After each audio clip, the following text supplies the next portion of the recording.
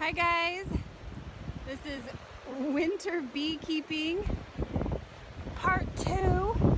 We're in February now and the wind gusts are up to 20 miles an hour right now, but we're expected anywhere between uh, 40, 60, possibly 80 at our elevation tonight. So I'm going to take one of my oh, least favorite tools, a ratchet, and I promise I'm not going to get my fingers stuck in it this time. And I'm going to ratchet the boxes together because uh, one year I had boxes blow over, which was a real bummer. And another time, the ground got too soft and the legs of the table sunk into the ground and then the beehive toppled over. So, if any of you guys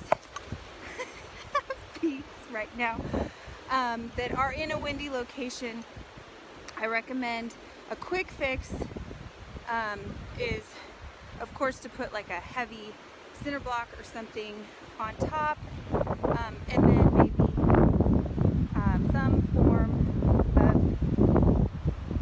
of, of ice to keep your boxes together from not splitting apart in case they do blow over.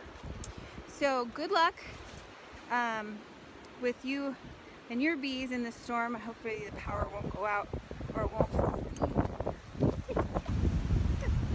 but I'm gonna um, put my boxes together and then go back inside. All right, take care everybody. Bye.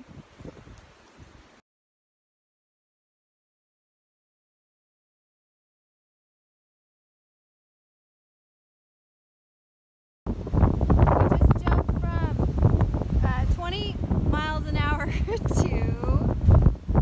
mile an hour gusts.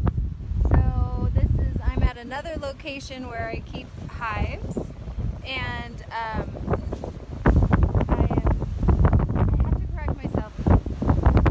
This is not my least favorite tool. I have a love-hate relationship with this tool. This keeps things safe and uh, I really trust in this tool. Ah, it's just that I get my fingers caught in it all the time. So, um, this is really a great tool for keeping your bee boxes together. So here we are. Here's my freebies. And uh, they're kind of mean, so I have to keep the hat on even though it's kind of silly in this weather. But yeah, so we are um, at 30 mile an hour gusts and rising. And um, I'll keep you posted as to how we weather through this storm. Uh, it's, supposed to peak tomorrow morning at 8 o'clock uh, with uh, 60 and 80